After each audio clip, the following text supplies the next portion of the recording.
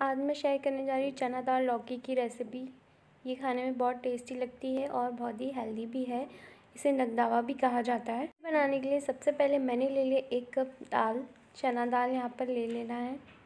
आप अपने हिसाब से इसे बढ़ा या कम भी कर सकते हैं। मैंने दो घंटे के लिए सोख कर लिया था। आप चाहें तो इसे ओवरनाइट भी सोख कर सकते हैं। सोख करना यहाँ पर ज़रूरी है। फिर एक स्मॉल साइज़ की मैंने लौकी को यहाँ कट कर लिया है। कट करके धो के इसे भी इसमें डाल देना है नमक डाल रही हूँ मैं यहाँ पर, स्वाद अनुसार नमक डाल देना है। इसके बाद यहाँ पर मैं डालूँगी हल्दी पाउडर, टर्मरिक पाउडर डाल देना हाफ़ टेबल स्पून।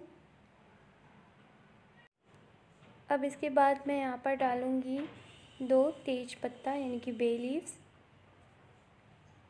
इसे बॉईल करने में ऐड करने से इसका फ्लेवर लौकी और दाल के साथ ही आ जाता है। इसे अच्छे से मिक्स कर देना इन सारे मसालों को। और फिर इसे बॉईल करने के लिए मैं यहाँ पर हाफ़ कप पानी डालूँगी। आप अगर दाल को थोड़ा पतला रखना चाहते हैं तो एक से डेढ़ कप पानी डाल सकते हैं यहाँ पर। जिस पानी में मैंने चना दाल को सोख किया था, वही पानी मैं इसमें डाल दूँगी तो उसके न्यूट्रिशन जो पानी में आ जाते हैं, वो इसमें आ जाएँगे। उसे वेस्ट भी नहीं करना और इससे फ्लेवर और भी अच्छा आता है। तो आप वही पानी डालें जिसमें आप दाल को सोख कर रहे हैं। बाद मैंने यहाँ पर दो टेबल स्पून ऑयल डालूँगी मैं। ऑयल आप कोई भी यूज़ कर सकते हैं। यहाँ मैंने सरसों का तेल लिया है।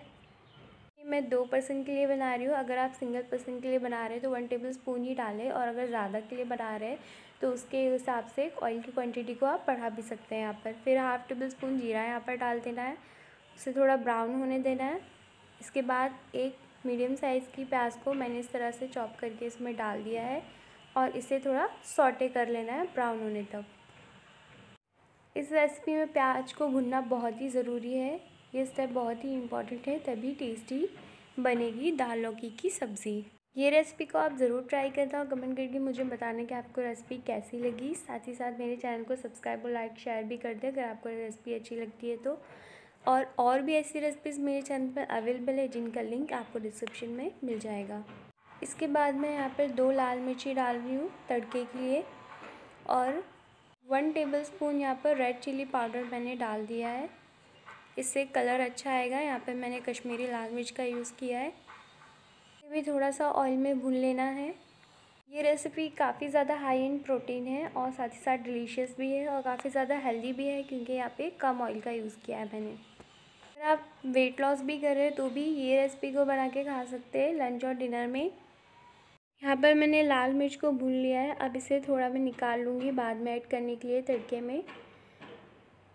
वापस से हमें कोई तड़का बनाने की ज़रूरत नहीं होगी। इसमें इसमें मैं थोड़ा निकाल ले रही हूँ और थोड़ा पैन में ही रहने देना है। इसके बाद मैंने यहाँ पर वन टेबल स्पून जिंजर और गार्लिक का पेस्ट ले लिया है।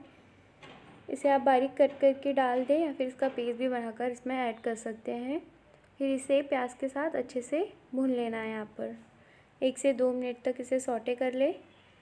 ये स्टेप अच्छे से फॉलो करें। भुनना यहाँ पर बहुत ज़रूरी है इन मसालों को, नहीं तो फ्लेवर अच्छा नहीं आता है सब्ज़ी का।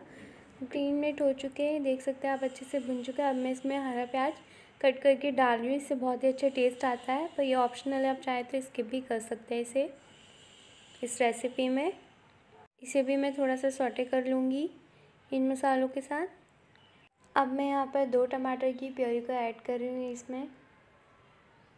और ये प्योरी को भी इसके साथ अच्छे से मिक्स करके सटे कर लेना है दो से तीन मिनट तक। इसी तरह चलाते हुए आपको पकाना है ताकि ग्रेवी जले भी ना और अच्छे से भुन जाए। चना दाल की रेसिपी को बनाने में मसालों को भुनना बहुत ही ज़रूरी, उससे ही अच्छा टेस्ट और फ्लेवर आएगा। एक से दो मिनट भुनने के बाद अब इसमें तीखापन के लिए मैं कुछ हरी मिर्च ऐड करूँगी। तीन से चार हरी मिर्च मैं यहाँ पर ऐड कर रही हूँ। आप कम तीखा खाना पसंद करते हैं तो इसकी क्वांटिटी को कम भी कर सकते हैं और ज़्यादा तीखा खाना पसंद करते हैं तो इसकी क्वांटिटी को आप बढ़ा भी सकते हैं इस रेसिपी में। इसके बाद इसे अच्छे से मिक्स कर लेना है मसालों के साथ।